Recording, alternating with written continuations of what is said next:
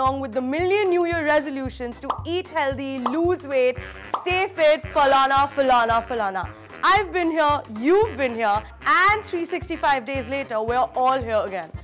Let me help you kickstart the Naya Saal with some free ka gyan.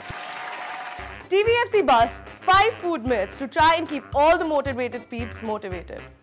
Number 1, ghee is completely cheap.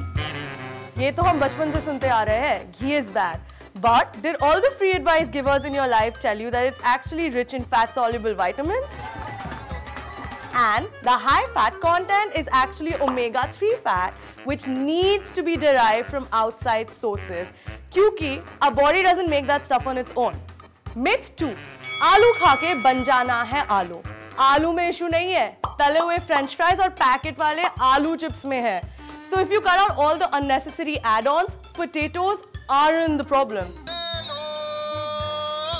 In fact, the polyphenols in potatoes trigger AMP, activated protein kinase, जिसे प्यार से AMPK कहते हैं, an enzyme that helps break down sugar faster.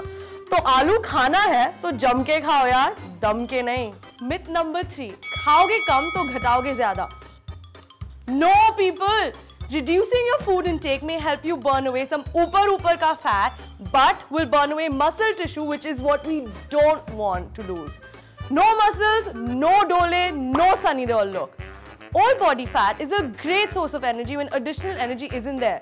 So tab metabolism ji thoda gadbada jate hai. When there is no input, there is no output of weight loss also goes awry. Myth number 4. Dabbe wale phal will phulao the pet.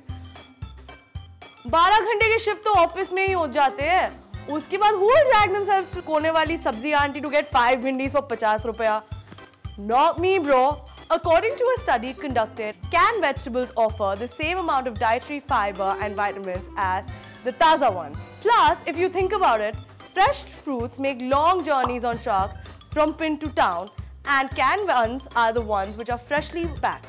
So, which do you think is better? Myth number 5. From fit to fat. Eating fika khana and boiled food isn't the answer to everything. The essential fats like avocados, nuts ho gaya, seeds ho gaya, oil. And it will keep you motivated doing those deadlifts at the gym. Anything which includes omega-3s and 6 help absorb nutrients and in general our swasthya ke liye badiya. So there you go boys and girls. Those are the 5 food myths we tried to break. Please let us know by liking, sharing and subscribing if the gyan we gave you actually worked for you and it also helped you double your Tinder matches or if all the information we gave you was so 20 years ago. Stay fit, keep yourself motivated and yeah, bye.